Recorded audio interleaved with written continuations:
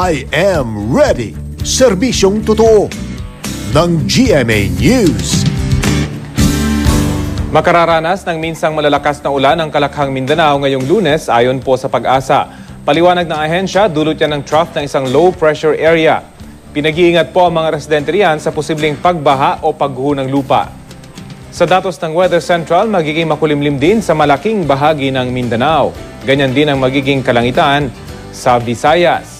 Asahan ang katamtamang ulan lalo na sa eastern section nito.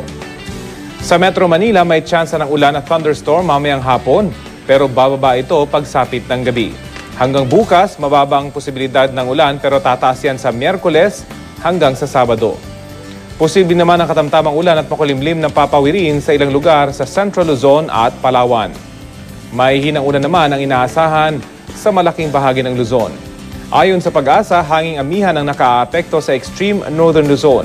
Ito rin ang nagdudulot ng along posibleng umabot sa mahigit 4 na metro ang taas sa northern at eastern seaboards ng Luzon. Sa mga gumagamit ng maliliit na sasakyang pandagat, iwasan munang pumalaot dyan. At para sa iba pang detalye, bisitahin ang GMA Weather webpage o i-like at i-follow sa Facebook at Twitter. Ito ang GMA Weather, I am ready. Serbisyong totoo ng GMA News.